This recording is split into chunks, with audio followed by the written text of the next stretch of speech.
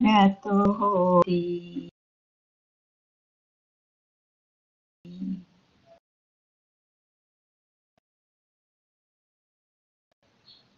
Cô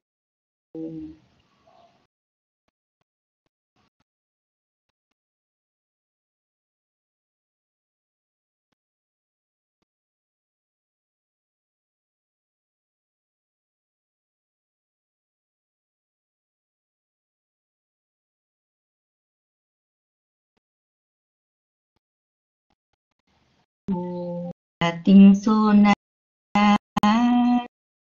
cha tăng akaya đô ti samma sambuddhasa quang cô biết vậy, đệ tử thánh hiền chẳng tìm thỏa thích triền miên cảnh trời chỉ mong ái diệt mà thôi, niết bàn vắng lặng nghỉ ngơi vẹn toàn. Và phẫu thơ này của hạch thượng dưới đất con kinh ảnh lệ ngài pháp vừa vào đạo tràng. Và con à, xin xuống mic kính mời à, con thấy bàn tay cho nên là con xin xuống mic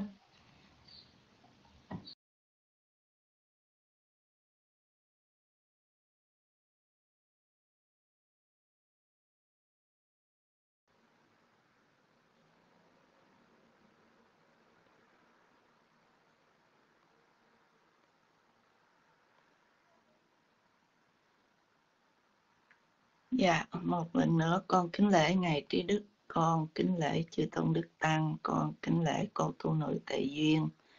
Dạ, con kính chào toàn thể đạo tràng. Dạ, con cảm ơn cô Như Quang, cô Nhật Quỳnh, Châu Nguyễn cho biết tín hiệu ạ.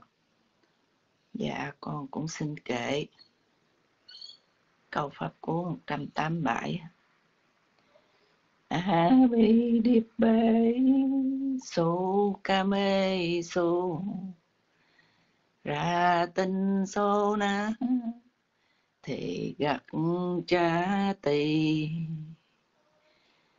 Tăng ác kha ya ra tô hô tỳ. Samma sambu thà sa wa cô a bi bê su su.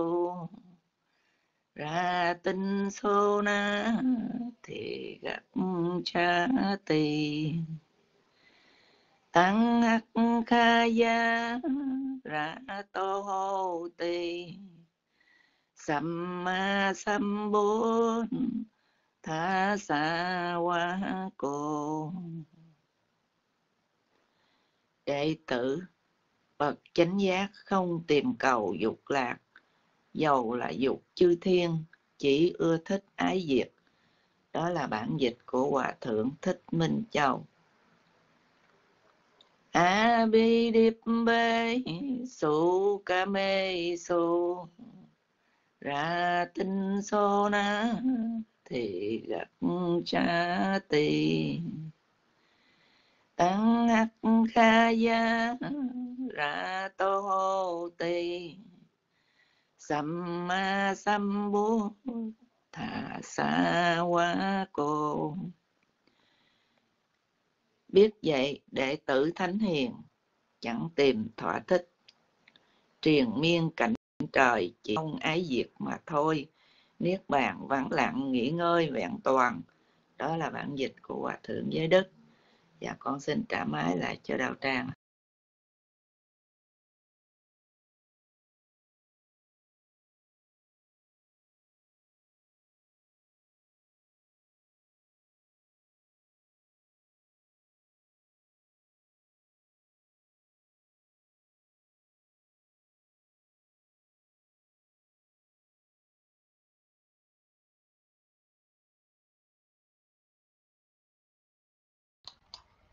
Dạ sa thú sa thú kính cảm ơn chị Meta.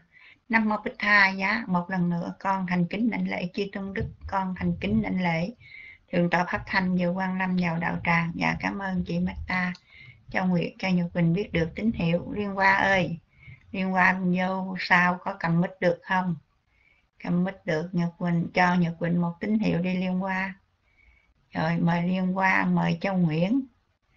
Châu Nguyễn có thể lên đọc lại và kể đi. Dạ. Rồi mời Liên Hoa nha.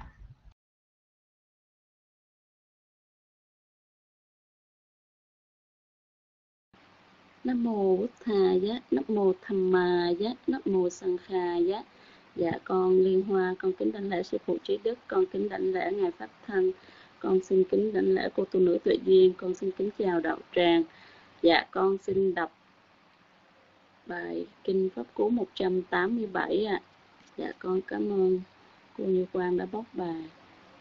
Avidipe Sukha Me suratin so na Thi Gách Chati Tăng Hakhayarato Hồ Ti Samma Samputhasa vakko Avidipe Sukha Me suratin so na Thi Gách Chati Tăng Hakhayarato Kayarato Hoti Ti Samma Samputhasa Vakko Afidippe Sukha Me Surating Sona Thigachati Tăng Hakhayarato Hồ Ti Samma Samputhasa Vakko Đệ tử bậc chánh giác không tìm cầu dục lạc dầu là dục chư thiên, chỉ ưa thích ái diệt. Bản dịch của hòa thượng thích minh châu.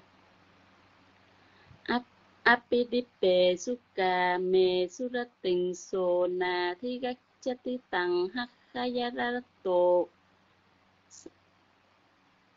Dạ con xin đọc lại. Apidipe Sukha Me Surating Sona Thigachati Tăng Hakhayarato Hồ Tí Samma Samputhasa Bako Biết vậy đệ tử Thánh Hiền chẳng tìm thỏa thích triền miên cảnh trời chỉ mong ái diệt mà thôi. Niết bàn vắng lặng, nghỉ ngơi vẹn toàn. Bản dịch của hòa thượng giới đức. Dạ con đã đọc kinh xong ạ. À. giờ con xin đọc kệ. Để con biết lâu quá con vô, con biết không biết là con có kệ được không?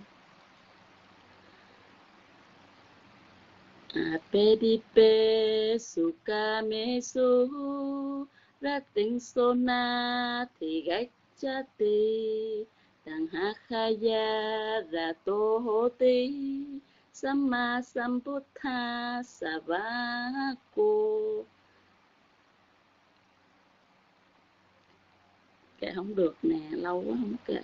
Avitipe Sukame Sohu Ra tiếng Sona Thì gách chati ra to Rato Hoti Samma Sambuddha Savako Đệ tử bậc chánh giác không tìm cầu dục lạc, dầu là dục chư thiên, chỉ ưa thích ái diệt. Bản dịch của Hòa Thượng Thích Minh Châu. Dạ con đã đọc xong, con đọc sai xin sư sửa giúp con. Con xin xuống mic, con xin mời vị kế tiếp ạ. À.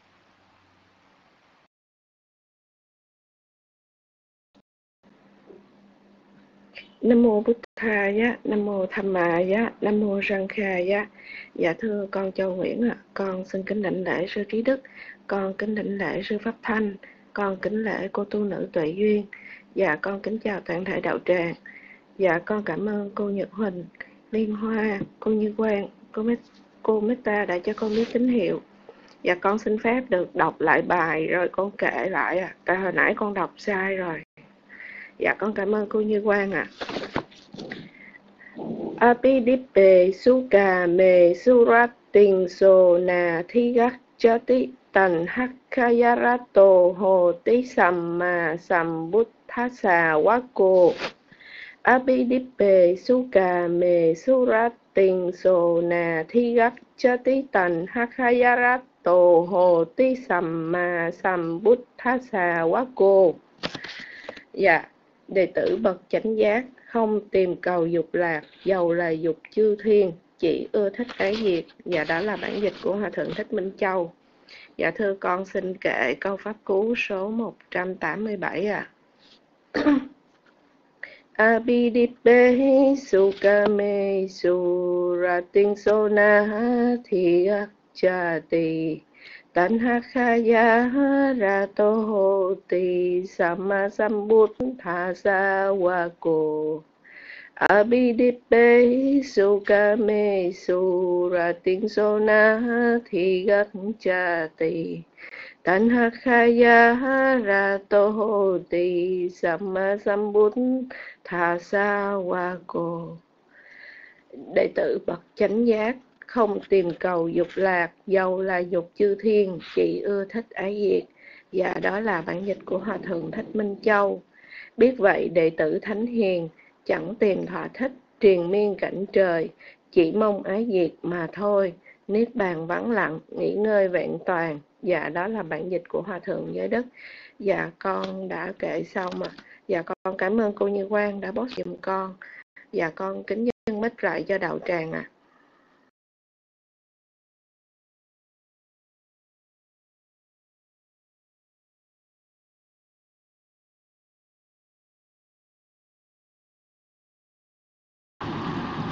Nam mô bổn Thầy dạ à, kính lễ ngài pháp thành vừa đến qua hội à, qua giọng kệ thì chúng ta thấy Siết Liên Hoa và Siết Châu Nguyễn à, Siết Liên Hoa câu số 4 bị trục trặc kỹ thuật ha. Nhưng mà Siết Châu Nguyễn thì 44 à, cái âm điệu của cái giọng kệ này là một câu 8 từ.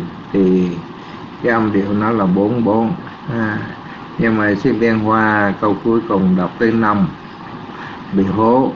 À, còn dư là ba chữ cho nên mình cảm thấy hụt hẫng. À, nhưng mà sư châu nguyễn thì thành công. À, chúng ta cái căn cứ bốn bốn là chúng ta có được một lối kệ.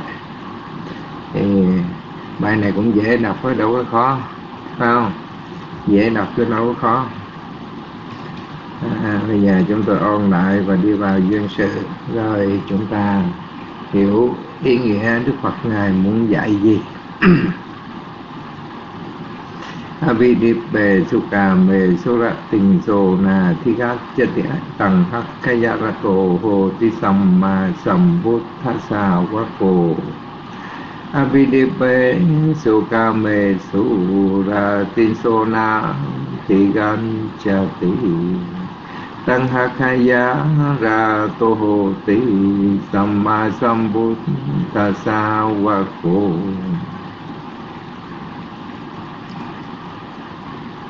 Abhidippe Sukha Me Suratin So Na Thi Gác chết Tí Tầng Thắc Khaya Rắc Hồ Hồ Tí Samma Sambuddhasa Wa khổ Apidipe Sukame Suratin Sona Tiganchati Tăng Hakaya Rato Ti Samma Sambun Thasa Wako Đệ tử vật chánh giác không tìm cầu dục lạc dầu là dục chư thiên chỉ ưa thích hai diệt câu Phật ngôn 186, 187. 187 Đức Phật đề cập đến một cái vị tỳ khưu không quan hỷ trong cái đời sống phạm hạnh. Và xuất xứ thì tại tại Triều viên. À, và thời kỳ Đức Phật có một vị tỳ khưu xuất gia thọ của quốc giới. Và cái vị thầy tế độ mới bảo rằng người hãy đến nơi đó để học về xiển thuật tức là u đàn á vị tỳ kheo này vâng lời. Nhưng mà khi song thân của vị đó lâm trọng bệnh, muốn gặp mặt con, nhưng mà không người đến nhắn tin được. Song thân của y vì thương nhớ vị tỳ kheo ấy, nên khi sắp lâm chung, báo lại với người người em trai rằng à hãy dâng cái y bác đến con trai của ta nhé rồi xong công vị đó, trao lại cho người em của vị tỳ khưu đó cái số tiền là một trăm ngàn, một trăm cái hà bá ná đồng tiền vàng và miền chung khi vị tỳ khưu trở về, người chú quỳ dưới chân vị ấy mà than khóc rằng, bạch ngài, vì sầu muộn do thương nhớ ngài, nên song thân của ngài đã qua đời cha ngài có trao lại cho ngài số tiền là một trăm cái hà bằng á một trăm đồng tiền vàng. Vậy thì tôi sẽ phải làm thế nào về món tiền này đối với ngài? Này chú, thôi được rồi. Tôi chẳng cần đi đến số tiền đó đâu. Một thời gian sau thì cái vị tỳ khưu này mới suy nghĩ, lợi ích gì mà ta phải đi tác từng nhà để nuôi mạng sống. Ta có thể nhờ vào một trăm đồng tiền vàng để nuôi mạng sống cũng được chứ. Vậy thì ta hoàn tục đi. Và thế là vị thị khưu này không còn quan hỷ trong đời sống phạm hạnh nữa. Y từ bỏ tụng kinh, rồi bỏ rơi việc thiền định. Chẳng bao lâu y trở nên ốm ho gầy còm các vị tỳ khưu và các vị sa di đến ngoại thông. Thì vì đó mới tỏ ý của mình rằng tôi bị cám dục tôi muốn hoàn tục. Các vị tỳ khưu trẻ à, cùng các vị sa di đưa vị tỳ khưu này lên trình lên đức phật. Bậc đạo sư phán hỏi rằng này tỳ khưu có thật vậy không? Được nghe nói rằng ngươi vì cảm dục cho nên muốn lìa bỏ cái đời sống phạm pháp. Bậc đức thế tôn có thật là như vậy. Này thì thưa, vì sao ngươi lại hành động như thế? Ngươi có chí làm duyên để nuôi mạng hay không? À, bạch đức thế tôn có chứ. Vậy thì đó là cái gì? À, cái chi là duyên để nuôi mạng của ngươi thì vị này nó có đức phật hỏi đó là cái gì thì vị tỳ khưu đó mới trả lời rằng có được một trăm đồng tiền vàng. À. và đức phật nói rằng người hãy mang một số sỏi à, hãy thử đếm xem. Ngươi có thể nuôi mạng sống với một trăm đồng tiền vàng ấy được hay không? Hay là không thể nuôi đủ mạng sống? Vì thì khưu đem cho sỏi tới tương đương với một trăm đồng tiền vàng Đức Phật mới phán dạy rằng, hãy bỏ ra năm đồng, năm trăm mà năm chục đồng tiền vàng mua vật thực trước. Bỏ ra 25 đồng tiền vàng mua đôi bò. Bỏ ra bao nhiêu đây để mua hạt giống, bấy nhiêu đây để mua ếch cài bấy nhiêu là mua cuốc mua rửa, mua búa. Và người tính như vậy rồi thì một trăm đồng tiền vàng này cũng không có đủ để mà xài. Rồi đức phật dạy vị tỳ khưu là cái số tiền, cái hai phần á mà ngươi có được quá ít, ngươi nhờ cái số cái hai bản á này để tầm cầu thì làm sao mà thỏa mãn được? Được nghe rằng thời trước các bậc trí làm vua chúa luôn thánh vương. Chỉ cần vỗ tay thì mưa bảy báo rơi xuống ngập đến ngàn thắt lưng trong khoảng 12 giờ tuần à, dù cho vị chúa luôn thánh vương ấy làm chúa nữa quả trời đau lợi suốt khoảng thời gian của 36 vị trời để thích nhưng mà cũng hề thỏa mãn phải mệnh chung phải chết mà thôi và theo lời đến cầu của các vị tỳ kheo đức phật, đã nói lên bổn sanh đức vua Mạnh thà tú. À mặt trời và mặt trăng thường xoay tròn, rọi sáng các hướng như thế nào? Thì tất cả chúng sanh sống trên trái đất này, thường là kẻ nô lệ của vua mình Thà Tú là vô vậy. Tức là chiếm nửa cung trời, mà lòng tham vô đấy đánh đuổi luôn cả đức vua trời để thích để hưởng trọn quyền.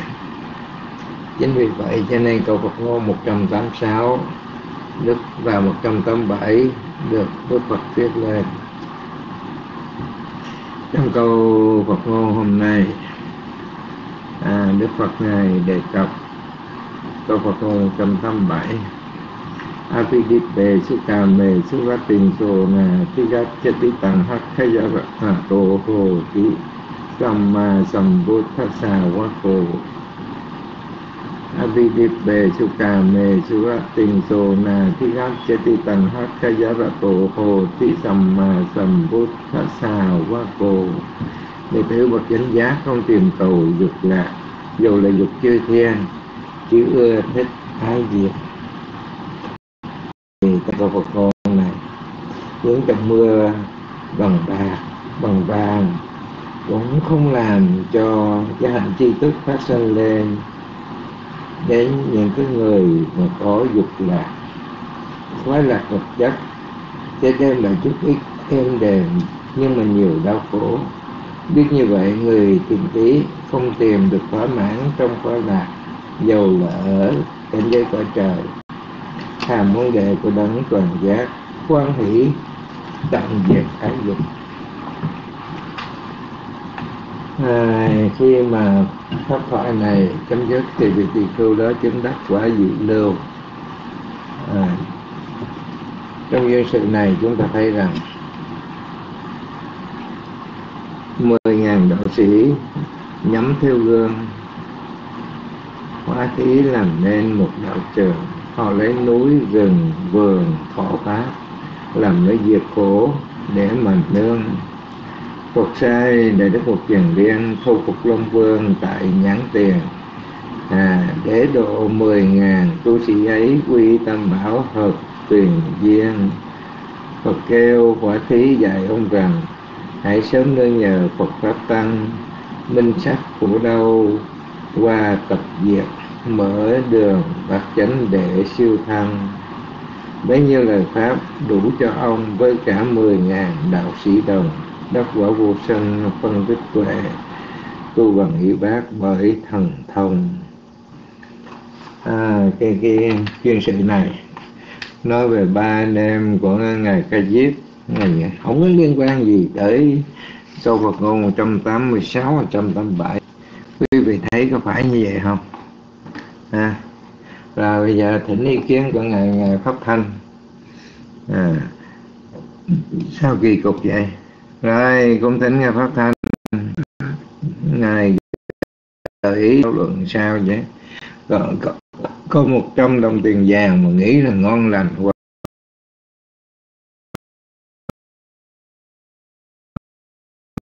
Tục. Nhưng mà đức phật ngài đem ra ngày chia chác để để thấy rằng mới tính thôi á mà thấy cũng thiếu hụt quá trời của đất. À, làm người kia chán ngán. Rồi thỉnh ngài pháp thanh gợi ý để đạo tràng chúng ta thảo luận về câu phật ngôn này. Cung tỉnh bàn tay của ngài pháp thanh không biết hôm nay ngài bắt cỡ gì không biết nữa giờ cũng chưa thấy rồi rồi thấy bàn tay rồi xà thụ xà thụ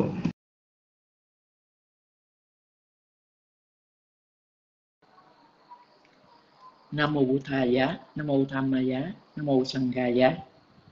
Và kính lễ chư tôn đức trưởng lão kính lễ uh, ngài trí đức. Và kính chào quý tu nữ và tất cả quý phật tử. Và không biết sao mà cái đường truyền bữa nay nó cứ uh, bị trục trặc à. nó cứ uh, rớt rớt lên rớt xuống. Dạ à, hồi nãy thì uh, đang nghe giữa chừng rồi bị mất một đoạn. Con cũng không à, nghe hết cái à, duyên sự. Thì bây giờ chỉ à, dựa theo cái đại ý của cái câu pháp cú kinh mà nói thôi, chứ còn cái duyên sự thì con không có nghe hết. Thì đức phật nói ở đây là cái cái tâm của chúng ta đó tưởng của chúng ta nó nó rất là mạnh. À. Nó làm việc rồi nó suy tưởng nó vẽ dời ra đủ thứ á à, trong khi cái vị tiền thu này đó à, đang tu tập an ổn nhưng mà khi mà được thừa hưởng à, 100 đồng tiền vàng thì à, vì không có kiểm soát cái cái cái à, cái tầm ý của mình cho nên là nó vẽ dời ra. À, bắt đầu nói là thôi tu hành chi cho nó cực giờ có một trăm đồng tiền vàng rồi về mình sống. À, tạo cơ nghiệp rồi này kia nọ sống cái à, ngoài thế gian để hưởng thụ dục lạc rồi cho nó thoải mái. À, nhưng mà thật sự ra nó một trăm ngàn à, một trăm đồng tiền vàng thì nó, nó quá là ít ỏi so với à, cái tài sản của các cái à, ông bá hộ là vua chúa. Ha. nhưng mà vì cái cái cái tưởng của mình á, nó dễ dời ra. Thì à, Đức Phật cảnh tỉnh. À, chúng ta phải kiểm soát cái cái cái tâm của mình. À, phải sống mình biết mình biết cái nào là là cái đáng à, tu tập đáng gìn giữ. Và những cái nào phải phải buông bỏ xả bỏ. À, cái con đường tu tập để đạt đến cái chân hạnh phúc à, đạt đến cái giải thoát nó là cái điều quan trọng. Còn tất cả những cái dục lạc ở nhân loại hoặc là ở thiên giới à, thì nó không có đáng cho chúng ta bám níu. À, những cái dục lạc đó chỉ là những cái để chúng ta có sự an ổn để nỗ lực tu tập mà thôi. Còn nếu mà chúng ta bám níu vào những cái cái dục lạc à, ở thế gian hoặc là của chư thiên thì cái con đường tu tập của chúng ta phải dở dang à, không đạt đến cái thành quả như ý muốn thì ở đây quý vị thấy rằng sau khi mà Bồ Tát à, đã thực hành tròn đủ 30 pháp độ được Đức Phật chánh đẳng chánh giác à, thọ ký à, Bồ Tát đã trở về cõi trời đâu xuất ở đó. Nhưng mà ngài vẫn nhớ được cái nhiệm vụ của mình à, nếu mà cái tuổi thọ ở trên cõi trời thì nó rất là lâu. Nhưng mà ngài có phát nguyện rằng đến khi nào mà ở thế gian này có đầy đủ các điều kiện thì ngài Nguyên sẽ chấm dứt tuổi thọ ở cõi trời để để tái sanh về nhân loại à, để hoàn thành cái tâm nguyện à, đạt đến chánh đẳng chánh giác à, để giải thoát chấm dứt sanh tử luân hồi cho bản thân cũng như là à, mở ra cái giáo pháp à, tiếp độ cho tất cả những chúng sanh hữu duyên đạt đến sự giải thoát. Thì đó là cái mục đích à, cái chí nguyện cao tột. À, cho nên à, tất cả những cái tài sản ở thế gian à, dù là vua chuyển lên thánh dương à, hay là tất cả các cái vị vua trời à, không có sự an lạc bằng à, khi mà chúng ta đạt đến cái sự giải thoát à, chấm dứt sanh tử luân hồi. Đó là cái cái sự an lạc à, cao tột và cái mục đích tối hậu của cái công việc tu tập của mình. À, còn những cái tài sản ở nhân giới ở thiên giới. À, chỉ là những cái tạm thời à, chúng ta sử dụng nó để nhằm mục đích à, để tạo những cái phước lành à, để hỗ trợ cái bước đường tu tập của mình chứ không nên bám níu. À, còn nếu mà à, chúng ta vì tham luyến à, còn bám níu vào tài sản thế gian bám níu vào sự hưởng thọ dục lạc ở các cõi trời. À, thì như vậy chúng ta sẽ còn bị trói buộc à, trong dòng sanh tử luân hồi sẽ còn trôi lăn trong đau khổ. À, thì đó là cái lời dạy của Đức Phật trong cái câu pháp phú kinh này. À, thì cũng xin à, đỡ mấy ngày à, nãy giờ à, ngài đã hướng dẫn về từ dựng rồi à, đọc à, và kệ. À, thì thời gian cũng rất là lâu. Thì cũng xin à, đỡ mít và nói thêm một vài ý chính mà Đức Phật đã dạy trong câu pháp cú kinh này để à, quý phụ nữ cũng như tất cả quý Phật tử cùng à, có hiểu biết thêm để có thể à, chia sẻ phát biểu về cái à, ý của mình. À, và sau đây thì xin à, bây giờ mời à, quý tu nữ cũng như mời tất cả quý phật tử à, cùng chia sẻ thảo luận thêm về cái lời dạy của đức phật trong câu pháp cú kinh này. À, bây giờ thì xin à, mời đạo tràng. À, kính để chư tôn đức cầu mong các ngài pháp thể ca ngang. Và kính chúc quý tu nữ cũng như quý phật tử à, nhiều sức khỏe an vui và tu tập theo lời dạy của Đức Phật để đạt được sự an lạc trong hiện tại và hướng đến con đường giải thoát trong ngày vị lai. nó mô Bụt Thà Giá và bây giờ thì xin mời đạo tràng.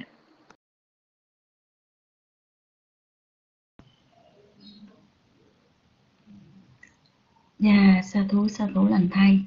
Dạ, tự nhiên nha, xin phép Nhật Quỳnh. giật máy, xin Nhật Quỳnh tí. Dạ, cảm ơn ờ, Nhật bình đã nghe rõ. Là vì ờ, hôm nay có à, bên bên bên xử lý có dỗ của mẹ của cho nên là tự nhiên tranh thủ một tí để có vài cái chia sẻ đến với đạo tràng trước tiên thì con kính thì ăn ngày pháp thanh à, ngài trí đức à, đã dìu dắt hướng dẫn chúng con à, trên con đường tu tập.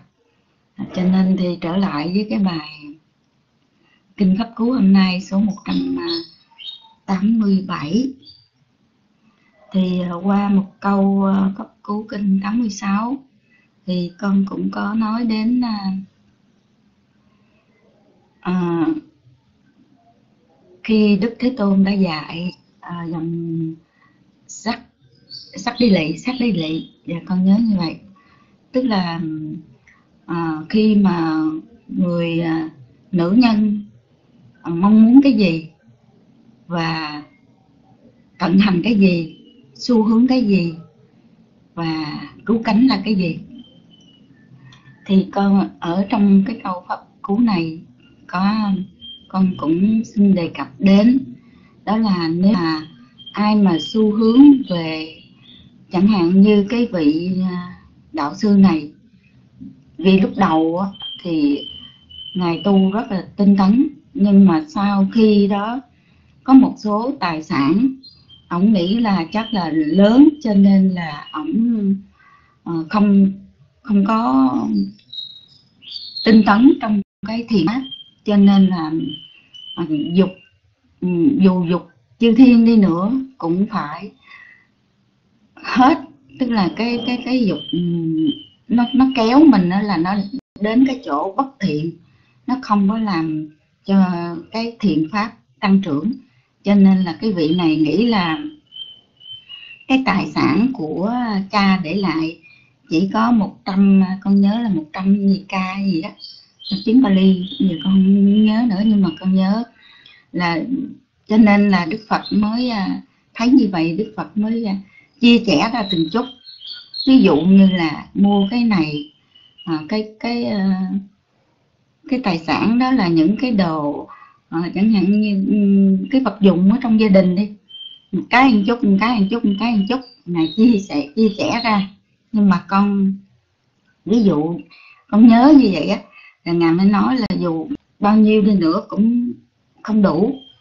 Cho nên á, là khi mà một vị sa môn á, mà nếu mà có ờ, muốn cận hành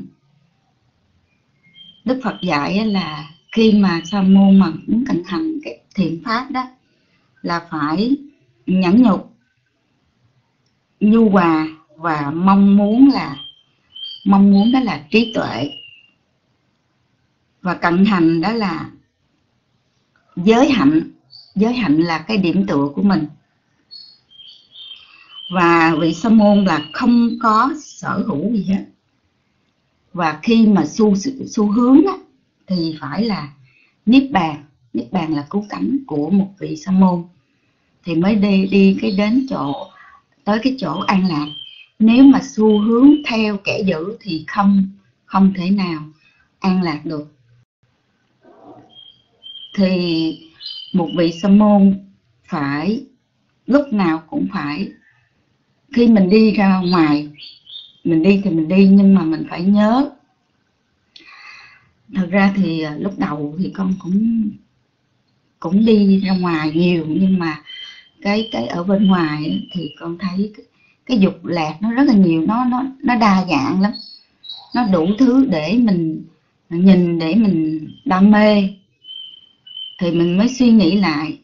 Con mới suy nghĩ lại ở cái tuổi của mình như vậy. Mà nếu mà hoàn tục thì làm cái gì đây? Đi làm mướn người ta cũng chê. Thì làm cái gì để để ăn? Mà khi mà mình muốn mua bán cái gì?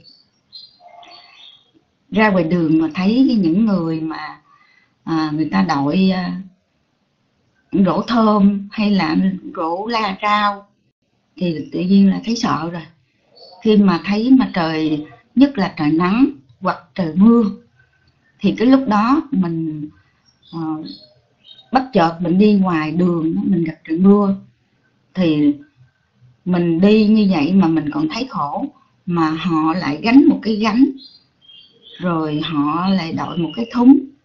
Nó rất là nặng. Và mua bán thì ế ẩm cho nên là xu hướng ở bên ngoài thì chắc chắn là phải khổ thôi.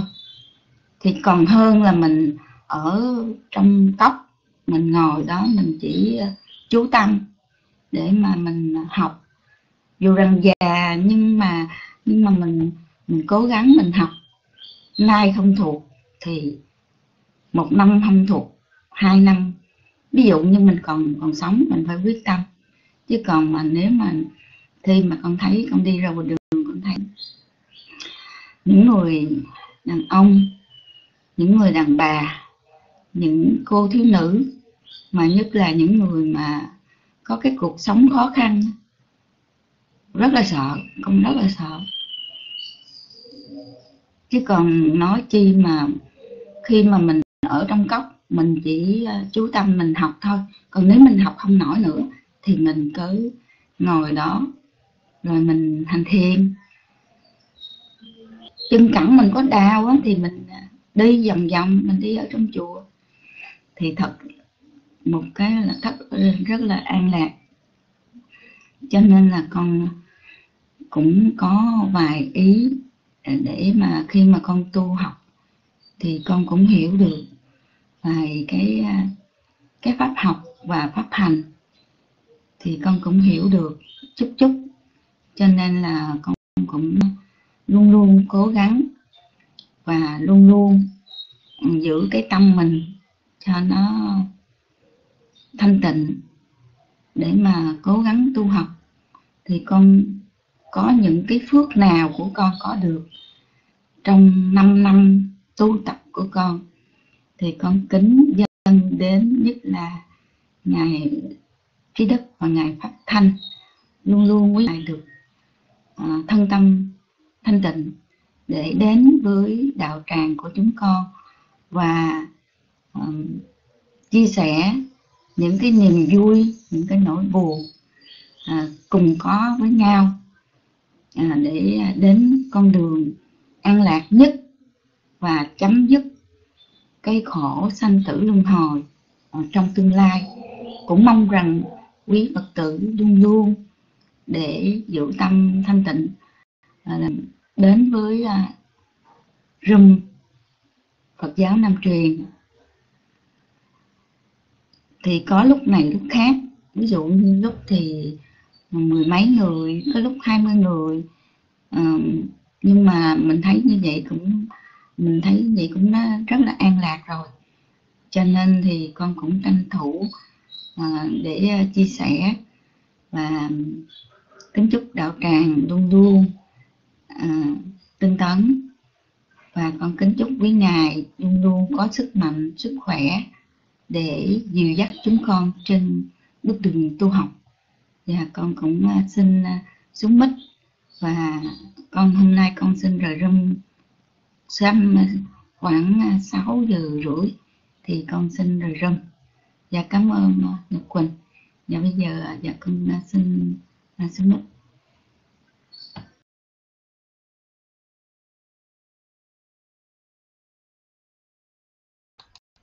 Dạ, sa thú sa thú. Kính cảm ơn cô Tề Duyên đã chia sẻ câu Pháp Cú Kinh số 187. Dạ.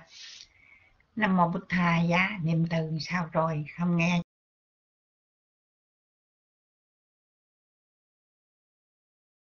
Cho Nhật Quỳnh biết được tín hiệu. Dạ cái banh thoát bữa nay kỳ cục lắm. Dạ cái máy của Nhật Quỳnh không biết là cái banh thoát kỳ cục hay cái máy Nhật Bình kỳ cục nói mà nó cứ té lên té xuống nó rớt mít lên rớt mít xuống hoài thôi. Dạ một lần nữa con thành kính đảnh lễ chi tôn đức nhật quỳnh kính chào đạo tràng. Dạ nhật quỳnh kính cảm ơn cô đã à, đã chia phước. Dạ cảm ơn cô rất là nhiều. Năm mô bích hai dạ dạ. À, con cũng xin có một ý một chút xíu trong cái bài học ngày hôm nay khi con ngồi con nghe cô Tuệ Duyên chia sẻ à, bạch sư. Dạ thì con thấy à, một điều là đúng vậy đó. Ai mà giữ được à, ai mà đã được xuất gia và giữ được cái y ở trên cái thân của của vị ấy thì con thấy vị đó rất là có nhiều hạnh phúc. Bản thân con con cũng rất thích cuộc sống xuất gia. Nhưng mà thật sự nó trì kéo, nó nó lượng qua lượng lợi không có dám xuất gia. Dạ phải nói như vậy, phải nói là không dám xuất gia. Ngại cái chuyện nọ, chuyện kia, đủ thứ chuyện hết. Rồi ờ, tự suy nghĩ, mình xuất gia rồi mình chịu không nổi trong cái cảnh chùa. Tại vì con cũng ở chùa con cũng biết rất là nhiều cái khó khăn thấy không phải dễ đâu không có đơn giản đâu. Thì à, mình chịu không nổi cảnh chùa rồi mình ra rồi mình làm gì sống. Và có một lúc á, con cũng ở trong cái room thì con cũng có quen mấy cái vị rồi à, cũng có những vị thực tử rồi cũng để ý mấy vị sư.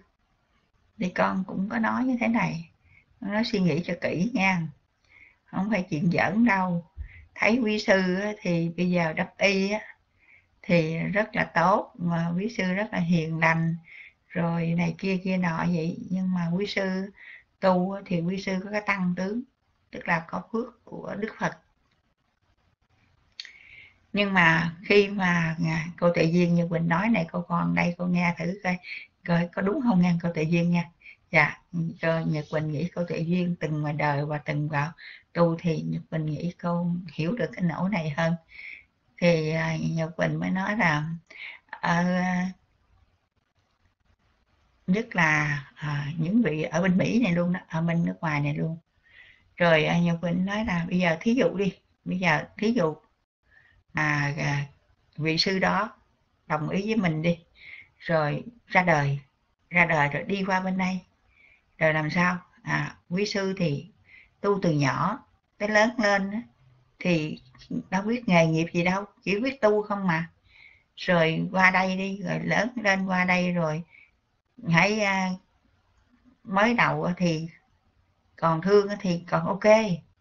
Nhưng mà một thời gian sau mình thấy ủa sao chồng ta đi ra làm ăn tìm bạc này kia quá chừng còn chồng mình không biết làm gì hết này kia kia nọ. Rồi lúc đó thì sao? Lúc đó hả? Cả hai đều khổ hết.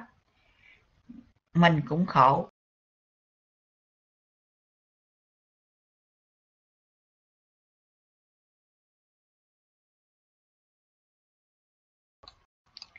Đâu có biết gì để mà mà làm. Nghề nghiệp không có. Không có với lại không có vật lộn với đời. Ừ, chuyện ngoài đời cũng rất là khổ như cô thị duyên thấy đâu phải là là là ừ, ừ, mà mọi sự như ý muốn mình đâu. Và không bao giờ có đâu. Rồi lúc đó đó là ai cũng đau khổ hết. Vị sư thì mất, mà mất thanh danh. Rồi bây giờ mà trở lại tu cũng rất là khó. Nhưng mà hòa nhập với đời lại càng khó hơn. Rất là khó. Ừ. Thầy Nhật Bình cảm nhận như vậy đó tại vì à, là hồi hồi lúc Nhật Bình còn nhỏ xíu à. Dạ Nhật Bình à, nghe má Nhật Bình nói những người mà tu mà ra đời khổ lắm à, do gì đó do ăn của quá tánh vậy đó đại khái vậy. Thì nhưng mà Nhật Bình có chứng kiến dạ có chứng kiến một à, cái cái cặp đó ở bên à, công giáo một vị là cha rồi một vị là dì Phước ra đời. Dạ ra đời rồi. Mà thời đó đó là đi ra dạy học đó. Hai vị đi ra dạy học. Rồi cũng có gia đình cũng có con. Mà sao Nhật Quỳnh nhìn vô cái cảnh đó thấy cái gia đình rất là khổ. Dạ nó khổ lắm kìa. Không biết tả là sao mà lúc đó Nhật Quỳnh còn nhỏ xíu à. Nhưng mà Nhật Quỳnh cảm nhận là cái gia đình nó khổ chứ không có hạnh phúc. Thì Nhật Quỳnh nghe, nghe má Nhật Quỳnh thấy vậy nhá mình nói tại vì tu ăn của bá tánh đó ăn của ờ, ờ, ờ, hồi đó Nhật Quỳnh nhớ là má nói theo xưa là ăn của bá tánh đó, nên giờ ra là bị gì đó nên là vậy. Nhưng mà bây giờ Nhật Quỳnh lớn lên rồi thì Nhật Quỳnh suy nghĩ là tại vì ví dụ như cha hoặc dì Phước ở trong nhà dòng đi thì chỉ có học và tu thôi đâu có biết vật lộn ở ngoài đời đâu. Ra đụng một cái rầm à, mến chào sư khá anh đức khá vậy giờ đạo tràng ra đụng một cái trần chuyện đời như cô tự duyên thấy đó. Yeah. mình đi ra đời mua gánh bán bưng cả một vấn đề không phải chuyện giỡn. Tính toán đủ thứ hết là chứ chứ không có phải mà mình cầm cái thúng hay mình cầm cái rổ mình đi mua mình đi bán là có lời liền để nuôi cái bản thân mình đâu rất là khó. Dạ, khó lắm. Nó là mình thấy rất là xa thú cô nói cô tu giao duyên có 3 tháng thôi mà bây giờ được 5 năm rồi. Rất là xa thú cô và Nhật Quỳnh cứ ước nguyện hoài à, nhưng mà không biết tới lúc nào mới thực hành được. Thật sự là mình coi như cái cuộc sống mình cũng không có cái gì. Nhưng mà nói mà bỏ đi là sợ lắm. Dạ rất là sợ. Ờ, à, như Nhật Quỳnh quen một vị sư. Ờ, à, à, À, lúc sư chưa tu à, rồi sư cũng tâm sự này kia. Sư nói sư phải làm sư để dành tiền để lo cho cha mẹ rồi để dành tiền để để à, khi mà vô chùa không có gì ăn thì cũng có cái mà ăn. Nhưng mà thấy vị sư này rất là có phước nhà xuất ra rồi một cái là Quỳnh cứ gặp sư là nói sư ơi sư nhớ tu nha sư nhớ tu. Sư cứ nói trời ơi sư đang ở chùa mà chỉ cái biểu sư tu, hoài là sao? Nó con sợ lắm á sư thấy không? Sư thấy gia đình con không? Đó không con không có nói ai xa con nói trong gia đình con thôi. Con trai con thôi chứ con không có nói ai xa nữa nhìn ở ngoài đời thấy là sức lắm đó. À, gia đình vợ con rồi rồi rồi con cái rồi này kia nhưng mà trời ơi cả một vấn đề sư ơi. Nên Nhật Quỳnh mà gặp sư là nói sư tu. Thì nói sư đang ở chùa sao chỉ có biểu sư tu hoài nhưng mà Nhật Quỳnh thương sư. Yeah, rất là thương sư sợ sư. Tại vì khi mà sư sắp đi tu hồi bình thường không sao mà tới hồi mà sư có ý nguyện đi tu rồi ôi cha ơi mà mà mà, mà màn nhện nó văng luôn á cô thị đi văng văng văng văng. Mỗi lần như vậy là sư cứ kêu như mình nói sư ơi sư trốn đi sư cứ ra à, mà lúc đó kêu bằng em chứ không phải. Kêu bằng sư trốn đi trốn đi trốn đi. Trốn đi thậm chí hả? Dạ thậm chí mà má sư không cho đi sư đi tu nữa bắt sư đi cưới vợ luôn. Dạ như quỳnh nó trốn. Chờ sư phải hâm vậy nè. Em phải hâm vậy nè. Em phải hâm á bây giờ sao? Giờ má muốn gặp con nữa hay là má muốn con trốn luôn? À, vậy đó. mình nghĩ mắc cười bây giờ nghe cô tại duyên nói vậy cô tại duyên ở chùa 5 năm rồi nghe mà giờ cô tại duyên mà mà ra đời cái thì thôi. Nhất là những quỳnh này nói này cũng hơi hơi lố nha nhưng mà những quỳnh nói thiệt luôn. Trời ơi mình tu có thấy những quỳnh về chùa những quỳnh thấy cô tại viên rất là là có cái, cái tăng tướng. Tức là mình ăn cơm của Phật mình có phước của Đức Phật thì mình nhìn đẹp đẽ vậy đó. Ừ, tự duyên đó à, cô tự duyên nên giữ lòng nha giữ lòng ừ, đừng có nghe lời mấy ông. Trời ơi chết luôn á cô tự duyên ơi. Này là nhật quỳnh thật lòng luôn á. À, chết luôn dạ ừ, chết luôn ấy chứ không có chuyện đơn giản đâu trời ơi. Đầu tiên thì dụ ngọt đủ thứ hết á mà ra đi rồi biết tay liền á. Lúc đó rồi. cơm không lành canh không ngọt. Trời ơi như khổ như mình thấy cái cảnh đó mình sợ vô cùng luôn á cô tự nhiên lúc đó là không còn đẹp nữa đâu nha. Nó một cái thà giá. Dạ như bây giờ thì con uh, cung thỉnh uh, dạ nhật quỳnh kính mời đạo tràng. Dạ quý vị có thể lên chia sẻ bữa nay nhật quỳnh nghe cô tự duyên tâm sự rồi nhật quỳnh cũng thấy được những cái điều đó, đó. Mà bản thân nhật quỳnh thì thể hiện được là bây giờ mà muốn xuất gia là không có dạ đúng rồi đó. Đó là đầu cổ phù su luôn á. Không còn đẹp đẽ như bây giờ đâu nha. Nhật quỳnh nó trước dạ kính mời đạo tràng. Dạ mời liên hoa, lâu lắm mà liên hoa mới được vô trong đạo tràng. Ngồi lâu vậy nè. Nhật quỳnh mời liên hoa nghe ngài chỉ đức chạy rồi, ngài rồi. Liên hoa ơi, liên hoa đưa bàn tay lên đi, chia sẻ cảm nhận của mình đi. dạ nhật quỳnh không có nói em trai nhật quỳnh. Nhật quỳnh nói một vị sư mà hồi xưa trước à, sư chưa tu là là rất là thân thiết với nhật quỳnh. Cũng đanh trung gì thôi. Rồi gặp nhau đanh trung thôi nhưng mà rất là thân thiết. Dạ rất là thân thiết với nhau, coi như là chị em vậy đó. Nên sư đi tu là là nhật quỳnh rất là ủng hộ. Dạ rất là ủng hộ. Lúc nào cũng sách tấn sư hết. Mỗi việc, bây giờ sư đã đã được nhiều hạ rồi. Nên sư ít tâm sự hồi mới sư mới tu sư tâm, tâm sự suốt luôn à. Dạ tâm sự suốt luôn à. Đúng rồi. Nên nó là nhật bình à, nhớ lại hai cảnh đó đâu bởi cái ngày mỗi lần mà gặp sư là sư ơi sư tu nha sư sư nhớ tu nha sư. Dạ, Giảng chi vậy cô kim? Để làm gì? Cô kim hỏi để làm gì? Đẹp trai hay không thì khi gặp biết liền thôi mà. Nam mô bổn thầy giá dạ kính mời cô kim nha.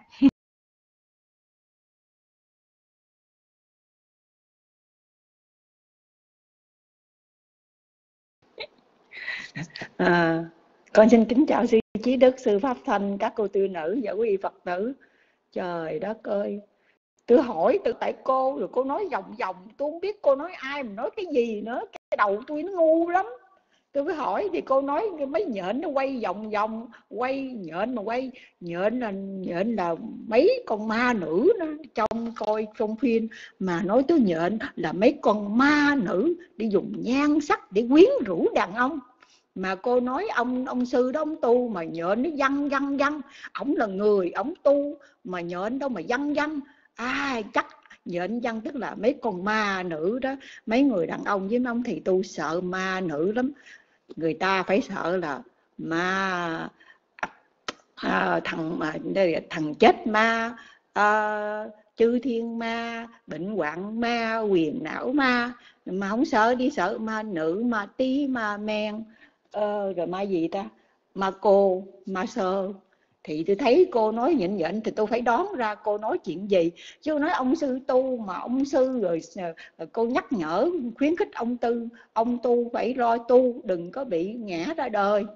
Trời ơi, tại vì ta không đủ nhân duyên, người ta không đủ thực lực đụng vô nhân duyên vô là mấy người đó là những kiếp trước họ là vợ là chồng rồi. Kiếp này họ gặp nữa, họ gặp nữa thì phải quyến liếng mà nếu mà cái lòng tu của họ không vững, không không bền, không mạnh, thì họ phải rớt đài thôi. Cô nghĩ coi, hai bàn tay. Nó dỗ nhau, nó mới kêu, ông thích, bà thích. Thì mới hợp nhau mới dính được. Ông thích mà bà không thích, bà thích mà ông không thích, làm sao mà mà vô dính vô được, không có thể đổi thừa tại ông, tại bà. Không phải tại anh, cũng không phải tại em, mà tại vì mấy người đó khoái với nhau thôi. Không có không có đủ cái tâm mạnh thì mới vậy thôi. Cô mời tôi lên, tôi nói như vậy thôi. Chứ tôi thấy ờ, mấy mấy người mà tu nữ mà tu bây giờ, tại vì bên Nam Tông không còn có người nữ đi tu nữa không còn mấy cô ni cô tỳ khu ni nữa. Thì lo cái gì? Mấy bà tu nữ vô chỉ thọ tám giới thôi. Xình lên xẹp xuống có bao nhiêu người giữ được đâu rất khó. Rất khó mà giữ cái đó. Với lại ở ngoài cảnh đời nhiều thứ lắm. Người nào đi tu được thì mừng người đó thôi. À, cô có ý nhắc nhở ông sư đó thì ờ, có thể là tôi nghe cô nói nhện nó văng văng văng nhiều quá thì có thể ông này đẹp trai. Với lại uh, bị lôi kéo nhiều thì trong lịch sử của Phật giáo thì ngài A Nan đó A Nan đó là thị giả của Đức Phật. Ngài rất đẹp đẹp trai nói chuyện rất mềm mỏng. Uh, tất cả các phái nữ nói chuyện ngài rất thích. Uh, thì ngài cũng bị một uh, ma đăng già uh, thích đó, thì cũng có chuyện đó. Nhưng mà rồi cũng xong cái ngài đã quyết chí đã tu rồi ngài đâu có bị dính đâu. Đó thì nhưng mà bên bắc tông thì nó vẽ đủ thứ chuyện hết. Nghe cũng mắc mắc cười lắm thì cái đó là do cái tâm của mình có vững không? Không vững thì rớt đài leo lên núi mà không có đủ công lực á, thì rớt xuống rớt xuống thì nó bị đau đích mà leo càng cao thì rớt xuống càng đau đích đẩy đích luôn. Thì đại khái vậy.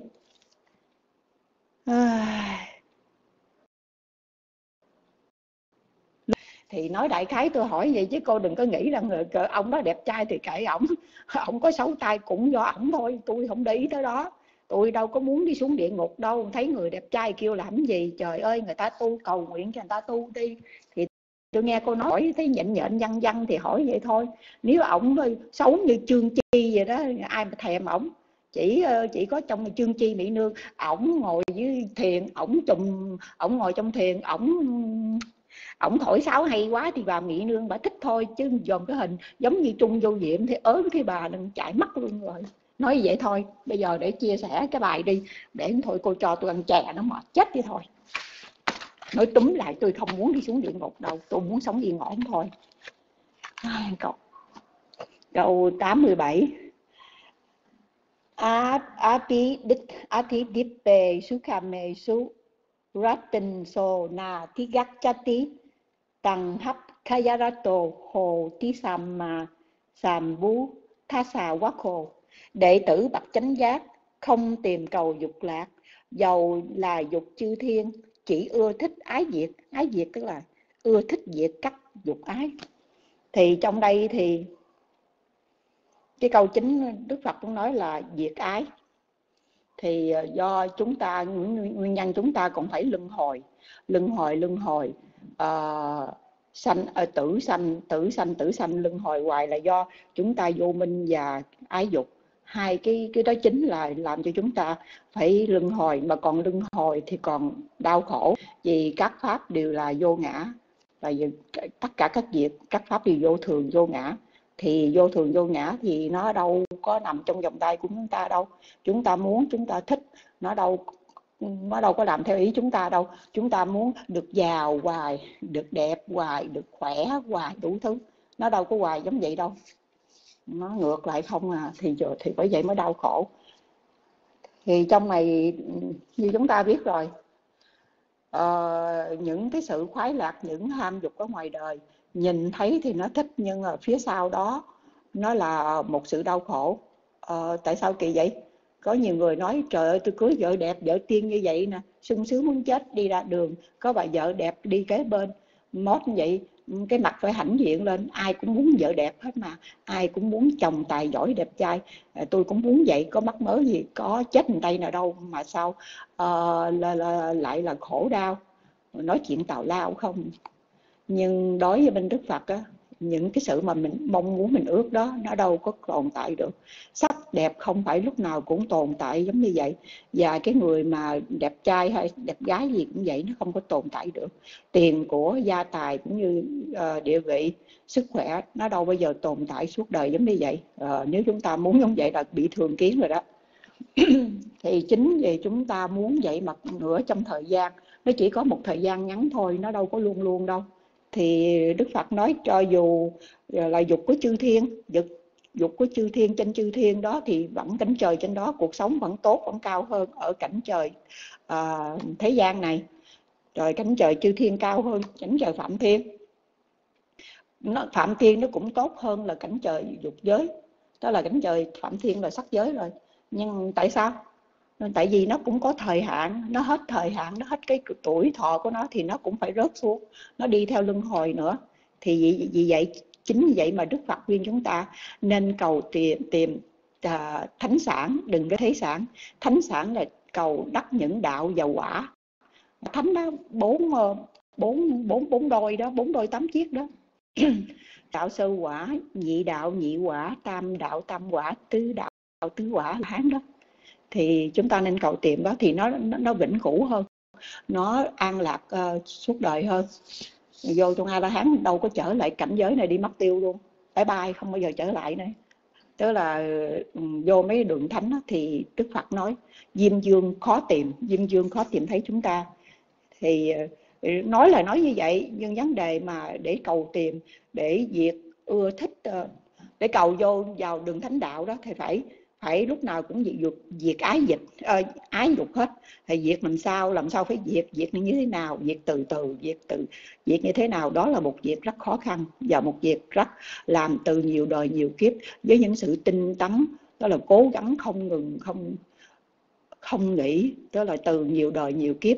Giống như bỏ bỏ bỏ bỏ bỏ bỏ bỏ bỏ bỏ gì ờ, bỏ từng sen từng sen trong cái cái xe vinh ba la mật của chúng ta rất là lâu dài và phải kiên nhẫn rồi không có sụt lùi tinh cần tinh tấn đủ thứ rất là khó. Nói thì dễ nhưng làm tức là hành đó.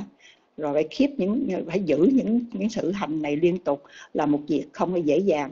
À, nhiều khi chúng ta bị nhân duyên bị nghiệp quả nó chỗ muốn không đi đường đó mà nghiệp nó chỗ phải có dính mắt uh, về vấn đề nhân duyên với những người mà khác giới rồi phải đứt đoạn đứt đoạn rồi dây quan trái với với người phối ngẫu hay người trong nhà thì đó một thì thành ra một một một một cái ờ, một cái nhân bất thiện tiếp nữa. Thì chúng ta lúc đó người đó thì chúng ta phải có những cái trí tệ phải giải quyết như thế nào để cho thích hợp và tốt đẹp à, tức là tốt đẹp cái những, những cái sự mà xấu nó ít nhất để kết quả nó có một cái sự xấu ít nhất để mà chúng ta được tốt hơn. Chứ muốn hoàn hảo uh, toàn hảo perfect thì rất là khó. À, đó là vấn đề chúng ta phải tự lựa chọn và thử hành động suy nghĩ hành động từng từng từng giờ từng phút từng giây từng sát na. Khi mà cái nhân duyên hay một cái gì đó nó đến thì chúng ta phải coi cái cái cái duyên uh, cái pháp đó nó tới chúng ta phải nên tỉnh táo sáng suốt và phải hành động như thế nào cho tốt đẹp. Uh, đó là ý của tôi. Còn trong đây thì đức phật cái câu này uh, nói rất cô động chứ cái tích sự của một cái người mà đã là tị tị đã một ông sư rồi nhưng mà có một chút nhân duyên lợi là mình được hưởng một cái gia tài. Thì ông ta có một sự so sánh mình được 100 đồng tiền vàng vậy mình đi mở làm này mình có tiền mình ngồi. Sướng không? Muốn ăn lúc nào ăn muốn ngủ lúc nào ngủ. Không phải bó buộc trong giới lực không phải đi cầm bình bát dăng nắng dầm mưa mỗi ngày. Không phải ngồi thiền không phải nhớ pháp thuộc pháp như vậy đó. Thì lúc mà ông ta à, cái tâm trí không có được sáng suốt không có sự lựa chọn uh, sáng suốt thì ông ta nghĩ giống như vậy thì ông ta so sánh. Rồi nhưng mà đức phật với cái cái ờ, thiên nhãn minh của ngài ngài biết ông sư này uh, có thể vô vào dòng thánh có thể đắc quả. Trong trong chú giải nói cho dù là thánh nhân cũng không có biết cái người đó người người nào mà có cái nhân quả mà vô dòng thánh. Chỉ bậc chánh đẳng chánh giác mới biết được cái người đó có thể vô dòng thánh được không. Đó là cái bản chú giải mà dịch ra uh, tôi đọc của ngài hộ pháp chùa Viên không á. Uh, à, thì ngài nói giống vậy. Thành ra thì ông ta mới nói vậy nhưng mà với cái thiên nhã phía thiên nhãn minh của ờ, đức phật đức phật biết ông này có nhân viên có thể đắc vô đường uh, thánh quả dự lưu. Thì đức phật mới lợi gặp ông này mới nói ổng. Để cho ông nói thì đức phật cũng làm bộ nói vậy đó với một trăm đồng tiền vàng ông làm cái gì? Thì ông này nó mua gà mua vịt mua cái này mua kia làm đó thì đức phật nói như đó một trăm đồng tiền vàng. Nếu mà thấy vậy với một ông sư uh, thì rất là lớn nhưng mà nếu mà ra mà buôn bán tranh đua với đời thì nó đâu có bao nhiêu nó thiếu này thiếu trước thiếu sau thiếu một lum hết. Thì ờ, ông sư này mới tỉnh ngộ thì đức phật nói bài kệ với một cái mãnh lực của một vị chánh đẳng chánh giác thì ngài nói một bài kệ đó thì ngài đã dùng thần lực ngài xoáy vào cái đầu óc của cái vị này đã tu nhiều đời nhiều kiếp, đã có đủ một một số ba la mật để vô quả dự, để vô thánh đạo, dự lưu. Thì ông này mở tuệ nhãn ra, ông sẽ hiểu những lời đức phật nói, thì ông thâm hiểu cái đó, thì ông đắc vào quả dự lưu. Thì trong cái bài những cái ông, cái vị tỳ khu này đã có nhiều nhân viên đã có tu nhiều kiếp và ông rất được may mắn là sanh vào thời ờ, làm đệ tử của Đức Phật Gautama. Thành ra ổng mới được vô uh, dòng thánh dễ dàng giống như vậy. Mặc dù trước đó ổng có một vài trục chặt trong vấn đề suy nghĩ của ổng về sự lựa chọn đi tu hay ra đời ra đời hay đi tu thì uh, đã được Đức Phật chỉ dẫn cho ổng tìm con đường đúng. Thì ông này vô quả dự lưu rồi ổng chỉ còn uh, trôi đi vô lại nhiều lắm là kiếp thôi. À, vẫn là hơn những người chưa có vô gì hết. Hơn hơn những người chưa biết tu tập gì hết. Và hơn hơn nữa những người còn ở dưới địa ngục chưa có trồi đầu lên. Và uh, tôi chỉ chia sẻ được bao nhiêu đấy thôi. Uh, nếu mà quý vị có những cái ý kiến khác xin mời lên ạ. À. xin mời quý vị lên. Và nếu mà tôi nói chuyện có đụng chạm cái gì? À, xin sám hối xin quý vị chỉ bảo và chúc quý vị luôn một ngày ăn vui. Xin trả mít lại ha.